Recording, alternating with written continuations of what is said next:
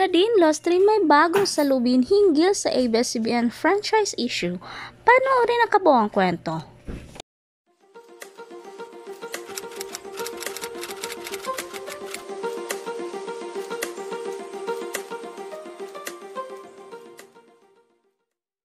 Hello guys! Welcome back to my channel. Chika naman tayo today. At yes, gaya ng ibang mga kapamilya stars, nagbahagi rin ang multimedia actress na si Nadine Lostre ng kanyang salubin hinggil sa ABS-CBN franchise issue.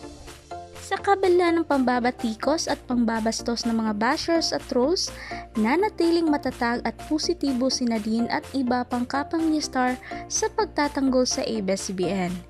Ibinahagi ni Nadine Lostre sa kanyang Instagram stories ang kanyang hinaing sa ABS-CBN franchise at sa mga libu-libong empleyado na apektado ng pagpapasara ng network. Sa ad ni Nadine, gaya ninyo, kapamilya din ako. Gaya ninyo, natatakot ako sa mga nangyayari. Gaya ninyo, nalungkot din ako sa 11,000 plus na taong nawala ng trabaho. Gaya ninyo, umiiyak ako para sa sariling bansa. Dahil gaya ninyo, Pilipino din ako. At yes, alam naman natin na palaban at walang balak umatras sa laban ng ABS-CBN ang multimedia actress na si Nadine Lostre.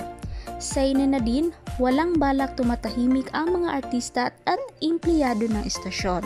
Tuloy-tuloy lang daw ang laban at patuloy na manalangin sa kabila ng pagluluksa sabi niya.